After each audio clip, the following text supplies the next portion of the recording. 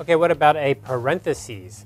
A parentheses, or you never use a parentheses, it's always a pair, two parentheses. They always go opening and closing. And what is a parentheses? Remember a parentheses is the opening and closing parentheses. So you can use the parentheses to set off independent clauses. For example, here, the patterns were statistically significant, see figure 5. Because C figure 5 is like an independent idea here, we just put it inside the parentheses. When you use punctuation, it goes inside the parentheses for whole sentences, and punctuation goes outside parentheses for partial sentences. Also, you use parentheses in reference citations that are inside your text. So, for example, let's take a look here. Dumas and Dor, and here we have the date. So this is separate and a part of a citation, so we use parentheses. Reported is fully described elsewhere, Hung and O'Neill, comma, 1992, because this is a citation. In the Diagnostics and Statistical Manual of Mental Disorders, and then here we're going to have the specification of what we're addressing. The fourth edition text revised, DSM, blah, blah, blah, all of these points here. So on this idea of punctuation goes inside the parentheses for whole sentences. So if you write a sentence and blah, blah, blah, blah, you have Jack and Jill ran up the hill. You have a whole sentence here.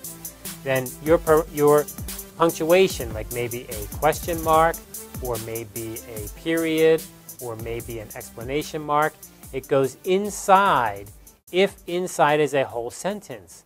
But if you write some of the sentence here and then you end your sentence here, then your punctuation needs to go outside. So that could be a period, it could be a question mark, or other punctuation. So if inside is a whole sentence, then it goes inside. If it's not a whole sentence, then the punctuation must go outside. You can also use parentheses when you introduce an abbreviation, and I think this is the way we're all used to it. So inside your research paper, the first time you introduce a new abbreviation, for example, GSR. GSR, what does GSR mean? Galvanic skin response. So the very first time we mention it, First, you need to write out the whole idea, the whole three words. Then, inside parentheses, you write GSR. And then later, you always use GSR without parentheses. You just use GSR. But the first time, you must do it this way. The first time in your thesis. So in a series, for example, the subject areas included A, blah, blah, blah, comma, B, blah, blah, blah, blah, comma, C. So this is a series. And how do we separate the series? Well, of course, we use the comma, as we've already studied. And for the last one, we use the conjunction and with a comma. But we also use the parentheses to enclose this one, two, three idea. And it could be one, two, three, A, B, C, or anything like this. I, I, I, I, I, something like that.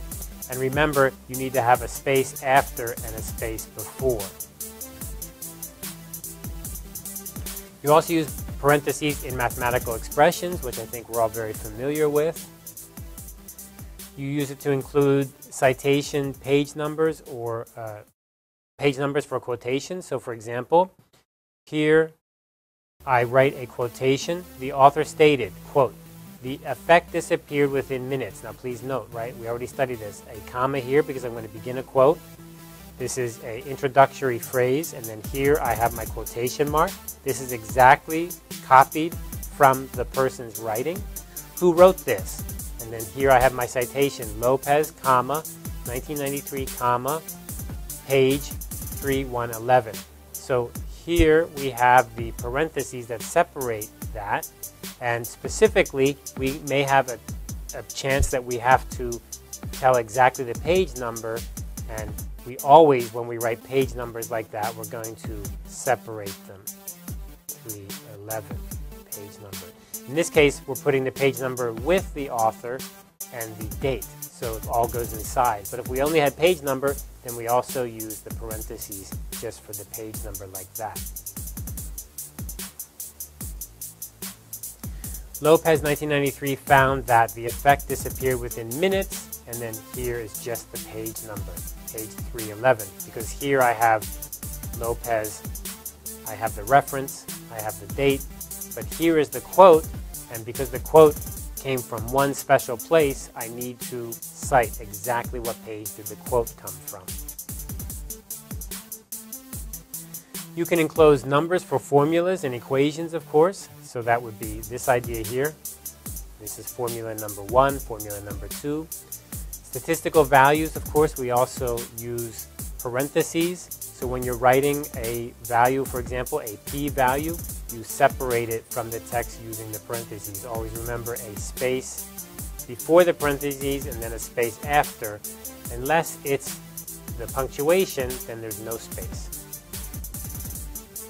You also use it in statistic for degrees of freedom. So for example here, the t-value, 75 degrees of freedom equals 2.17. That is to say that the statistical value is 2.17, but the degrees of freedom or the sample size is, in this case, 75.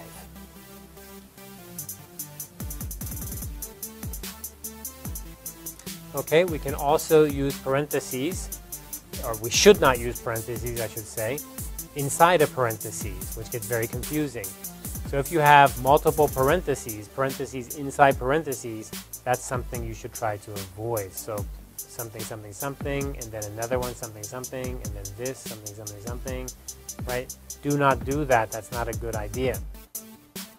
So how do we avoid that? The way to avoid that is shown here, when you have the parentheses inside, rather than use parentheses again, you use the square brackets, the brackets. So in this case, if I want to write a parentheses, and then inside I have something that needs parentheses, I use the brackets instead.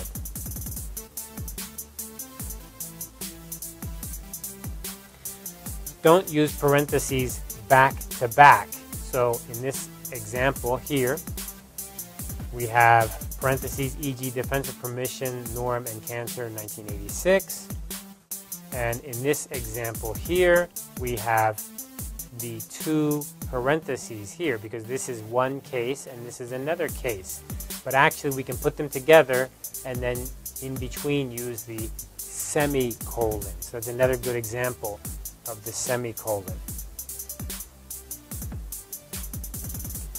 brackets. You can use black brackets to enclose confidence intervals. So for example, uh, here, again we have a nice example of the comma, comma and conjunction, serial.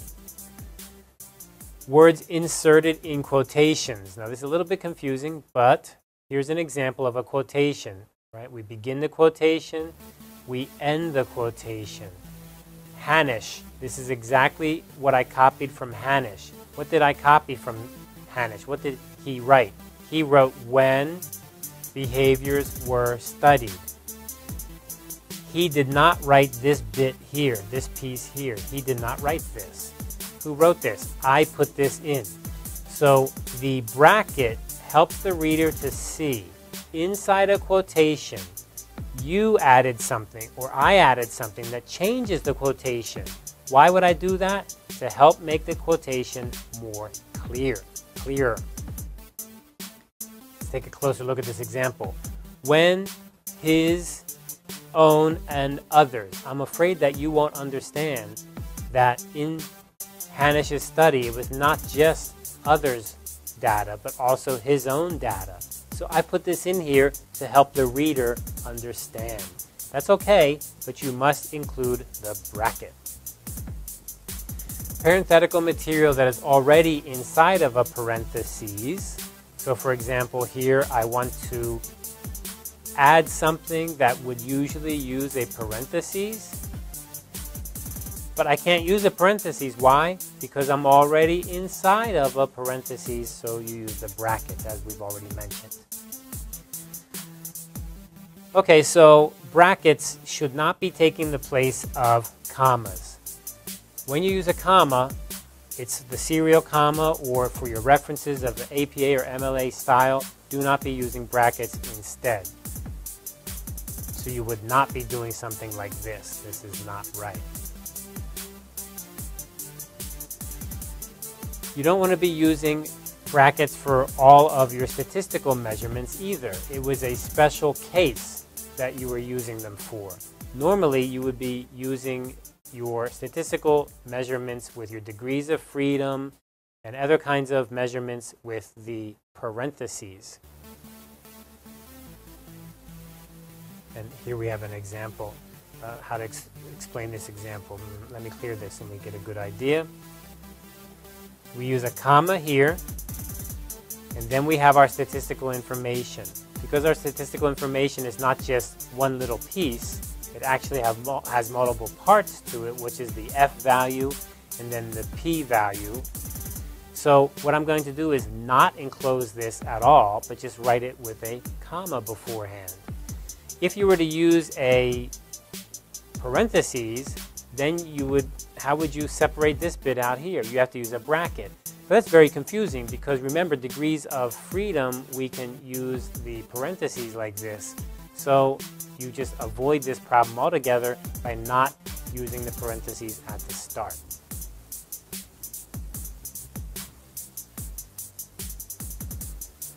Okay, a slash. So we're often used to using a slash because we use it in a slash or a backwards slash like this with uh, web addresses and internet addresses.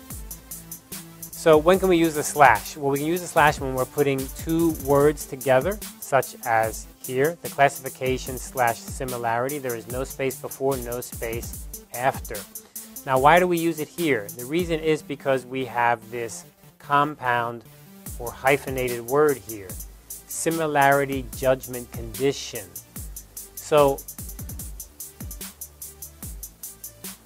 this idea of judgment condition has two cases, similarity judgment condition and classification judgment condition. In other words, this word here goes with judgment and this word here goes with judgment. But because it's using a hyphen, we don't want to write it out twice. We don't want to write the classification judgment and the similarity judgment conditions. Okay, it's a little bit confusing. So in the case that you have this hyphen, you can go ahead and combine the two words that go before the hyphen together by using the slash. Of course, numerator and denominator we often use in math, very simple. And of course for the per idea. So here, 0.5 degrees per second. So this uh, every second. Every kilogram. And also you use this when you want to uh, cite republished work. So if you have somebody's book or somebody's, well usually this would be a book for republishing, and the book may have multiple publishing dates. So maybe it was published in 1923, but it was also published in 1961, uh, uh, published again, republished. You can use the slash. No space before, no space after. Don't use a slash when a phrase would be clear. In other words, don't put words together with a slash when you can make it clear. So here's an example. Each child handled the ball, handed the ball to her mother or guardian. Not each child handed the ball to her mother slash guardian. You see that? You see the case here? Mother or guardian. Mother slash guardian. In this case, the child handed the ball it was probably many children doing this situation. Some handed it to them, their mother, some handed it to their guardian. But the individual child handed it just to the mother or just to the guardian. So you cannot say slash because then it would sound like the child took the ball and then gave it to the mother and then gave it to the guardian. Or maybe gave it to the guardian and then gave it to the mother. So you have to be careful not to combine words with slashes in that kind of case. Here's an example of when you would not use a slash. Test retest reliability, not test retest reliability. Because what we're saying is that this is a kind of phrase, this is an idea, it is a test retest. It is not a test or retest or a combination of both or sometimes test, sometimes retest. It's not that way. It's very clear. It's a test, then a retest. And other kinds of compound measurements or ideas that we often use in science, such as um, hours or milligram. Well, that's a little bit overwhelming, isn't it? A lot of detail, but really not that many when you think about it. The key to remember is the commas, the periods, the parentheses. These all have rules you can follow. You may want to look at some examples. You may want to get the APA manual and look at examples they have. If you're targeting a journal, look at the journal example. In our class, we're going to be doing some online writing assignments where I can help you to get feedback. Practice is the best way to get this down. And next, we're going to be looking at some examples.